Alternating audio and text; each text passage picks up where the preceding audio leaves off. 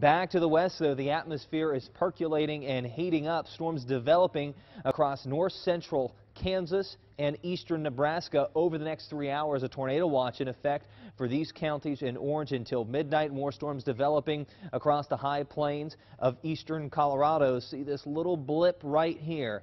That has my attention. That's probably going to develop and move up into Nebraska. These storms that develop here will be the ones that move into our area early tomorrow morning. But the rest of the evening here will be spent mostly in the sun with windy conditions and a temperature right around 80 degrees. So a good night to get out on the town. Tomorrow morning between 2 and 9 a.m. we do have the risk of seeing those isolated severe thunderstorms moving into the area, mainly along into the west of Interstate 35. We could have reports of quarter-size hail and locally some 70 mile per hour wind gusts. The highest likelihood of that would be in the elevated area across extreme northwestern Missouri and northeastern Kansas, closest to that tornado watch that I just showed you. Tomorrow afternoon, the cool front comes through east of I-35, now has a risk of seeing isolated severe thunderstorms, not widespread. Large hail and damaging winds, the primary concerns here during the afternoon hours, and that looks like it's going to be just to the south and east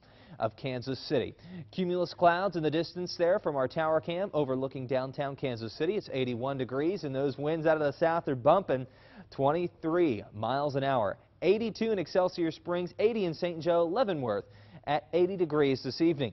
Future scan bringing in scattered showers and thunderstorms around 3 a.m. to northwestern Missouri, around Maryville through Kansas City, and just to the east by 9 to 10 a.m. tomorrow morning. Again, the lunchtime spent dry, and then we could see additional storms firing up across southeastern Missouri from Butler, Clinton, and Sedalia after 2 p.m.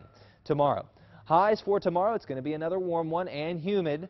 Mid 80s with an isolated storm possible. Tomorrow morning, thunderstorms likely across the area. 68 degrees. Take that out to lunch. That's the best time period. Between 11 a.m. 1 to 2 p.m. Cloudy but dry, 77 degrees. Some sunshine by the end of the day and a 30% chance of an isolated storm. So if you're planning on taking dad out to dinner, I still think you're going to be a-okay here in Kansas City. Monday, 88 degrees. Oh, look at the 90s coming in for Tuesday. And I can also tell you that it's going to be muggy. So those heat index values may be couple of degrees above the actual air temperature, so maybe 90 to 95 through Monday, Tuesday, and Wednesday. The next storm system that has my attention comes in on Thursday.